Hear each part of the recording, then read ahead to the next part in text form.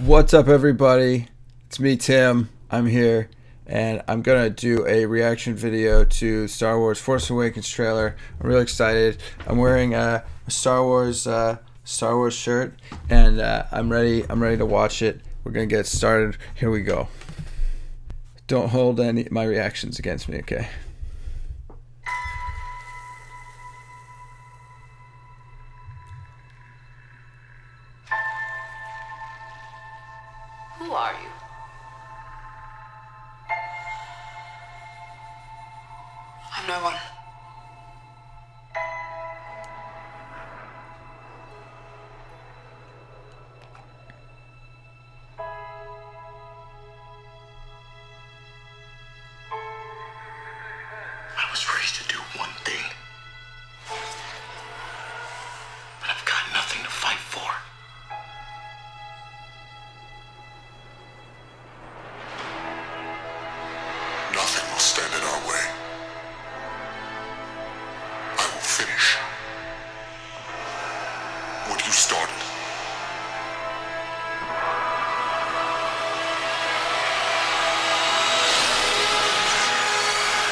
Are stories about what happened.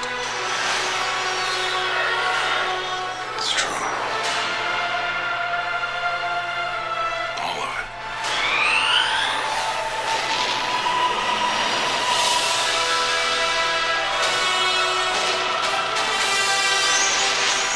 The dark side. The Jedi.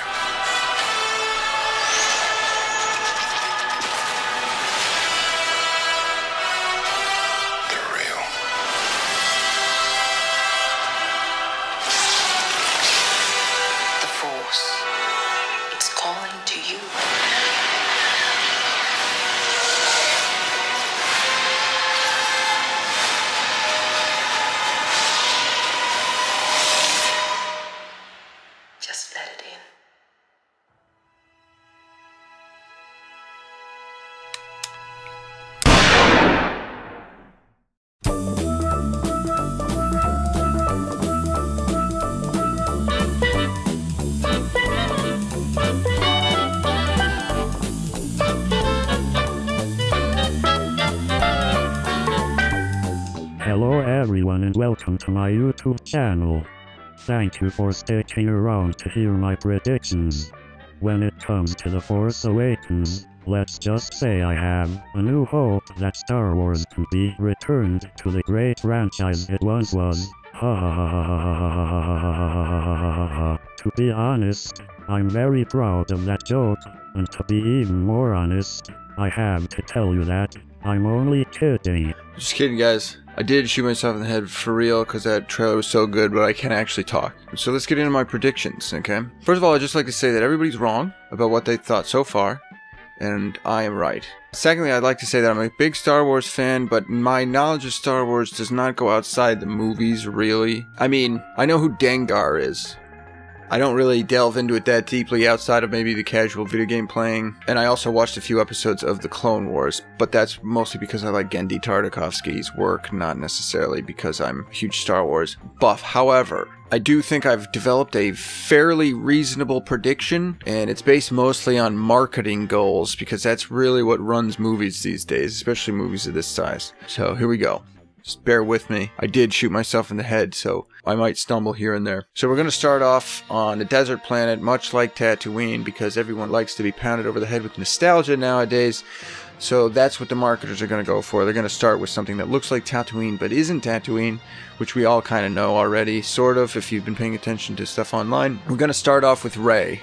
Rey is going to live there. She's not going to know who her parents are. She's going to be kind of an orphan, but she will find out later that her father is Luke Skywalker, who gave her away because he did not want her to live in this life of constant threat because Luke's developed all these enemies now, so he has to be in hiding because he can't like be like strolling into the Mos Eisley canteen and be be like, "What's up, everybody? It's me, Luke Skywalker. I defeated, you know, the Empire. Some of you might have had a vested interest in the Empire continuing to regulate business and whatnot."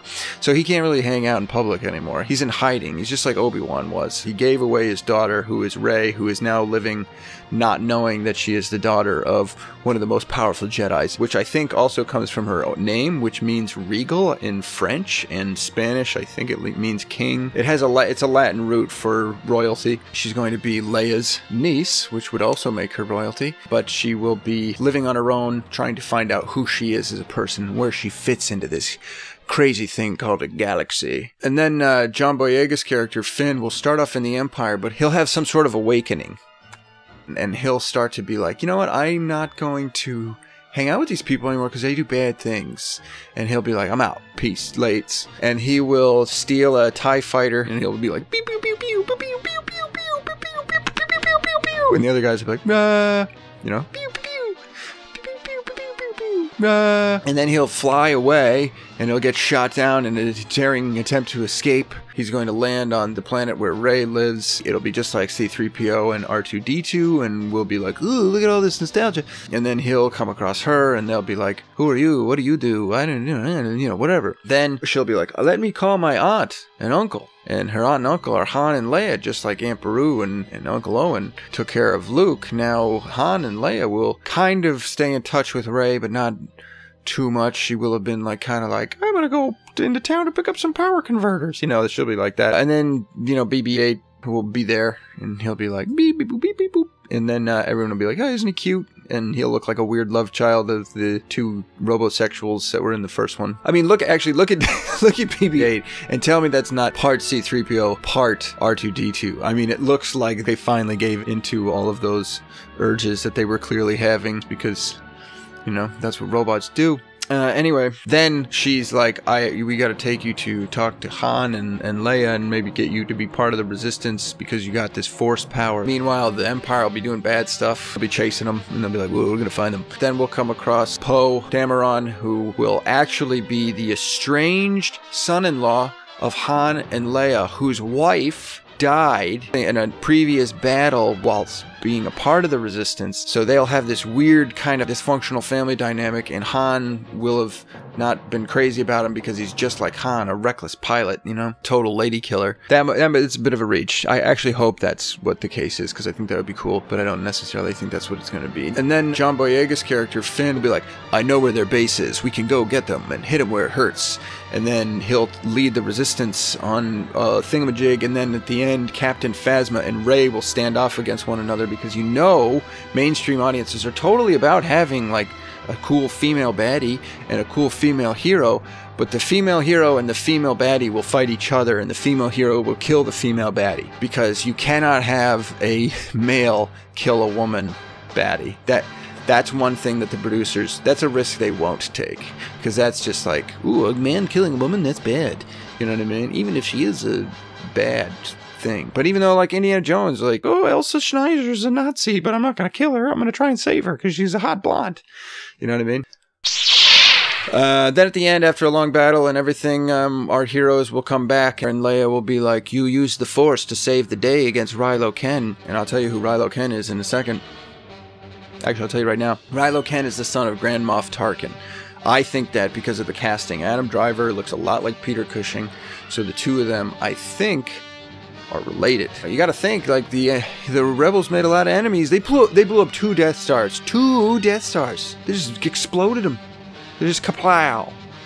So there's a lot of revenge going on on the other side, and they've just given rise to a new, stronger enemy. So as a result, Luke is in hiding because he can't stick his neck out. Rilo Ken is on the lookout for Luke because he killed his father. John Boyega will be the guy who the Force awakens within. Poe Dameron will be stolen at the end, just like Han was stolen at the end of Empire. That means we have to go rescue someone in the beginning of the next one. And then we also have to have John Boyega's character Finn go off to find Luke, who's in hiding. And that's the shot of R2D2 with the robot hand that we've been seeing in the trailers. That's the only appearance of Luke. We'll see Luke at the very end, and then it will be like, and everyone will turn to each other and go, oh. He's going to be like the new Yoda.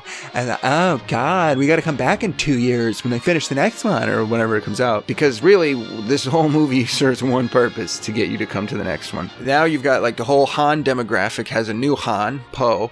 The whole Leia demographic has a new Leia, Rey. The whole Luke demographic has Finn because he's the guy who's on his journey to find himself within the Force and the galaxy. Yeah, that's what I think. Thanks for watching. Check out my channel right here, whatever. Uh, subscribe. I'm looking forward to the movie. I I think everybody else is too, and we'll find out if I was wrong or right. I was probably wrong. I'm probably wrong on a lot of levels, but I think I'm right on a lot of levels. So we're gonna see. We're gonna see what happens. Thanks for listening. And may the force be with you.